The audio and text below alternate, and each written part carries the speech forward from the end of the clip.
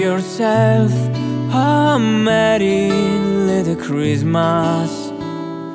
Let your heart be light.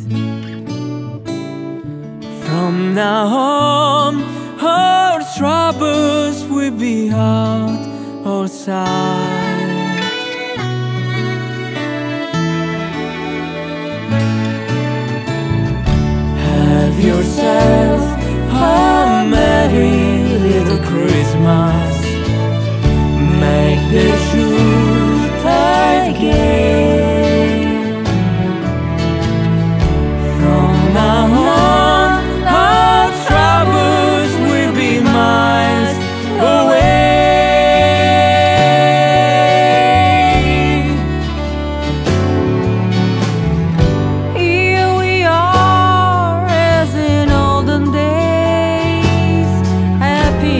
the name.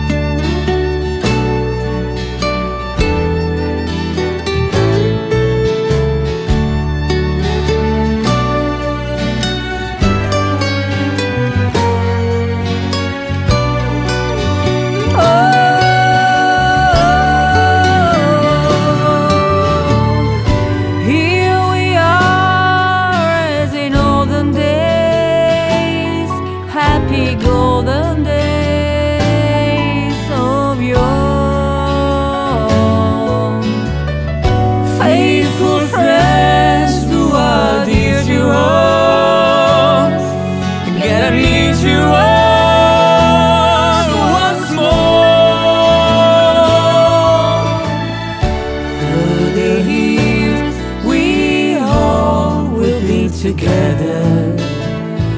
If the